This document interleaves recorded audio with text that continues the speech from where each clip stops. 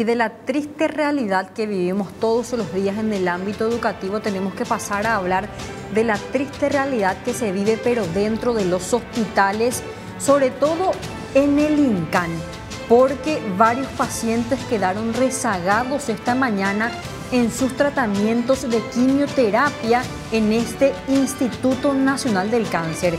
Entre los afectados se encuentran pacientes que vinieron incluso desde el interior del país quienes se quedarán durante la tarde y la noche para aguardar nuevamente el turno del tratamiento médico. Los pacientes lamentaron que no se les haya avisado vía mensaje o llamada que no podrían realizarse hoy sus sesiones de quimioterapia.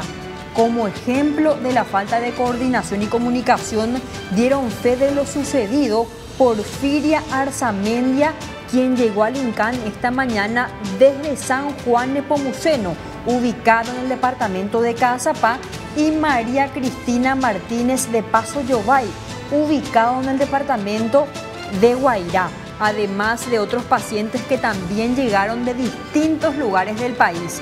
Los pacientes lamentaron que no puedan contar con un área de comunicación en el área de quimioterapia que les pueda servir en estos casos como un nexo para recibir informaciones de avería de las máquinas en donde se preparan los medicamentos, las campanas o bien la falta de camas de internación.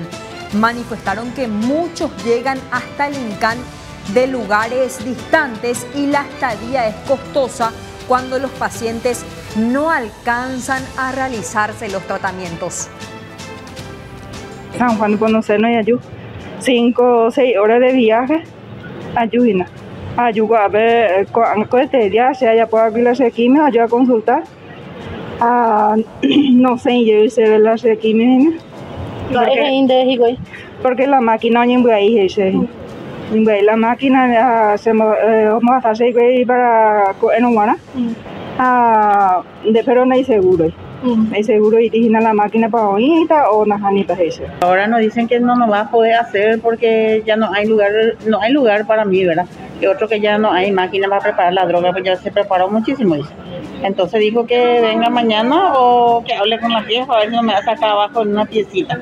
Pues no, no puede ser, ¿verdad? Demasiado ya no juega. La semana pasada fue así también, porque se contaminó la máquina, dice. Ellos lo hacen tocar, ¿verdad? A cualquier persona, a cualquier limpiador no me le hace tocar la máquina. ¿Por qué no prepara un profesional, ¿verdad? El producto para que nosotros podamos, ¿verdad? Eh, recibir bien pero ellos le hacen preparar a cualquiera que no entiende, entonces se le compone la máquina. Y acá estamos esperando a ver si qué pasa ahora. Ojalá Dios quiera me atienda, ¿verdad? Para volver otra vez a mi casa.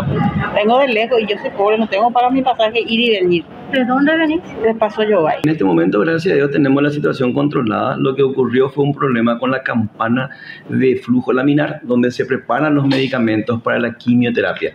Son los medicamentos citostáticos. Hay que entender que eso es un, son los medicamentos que reciben los pacientes.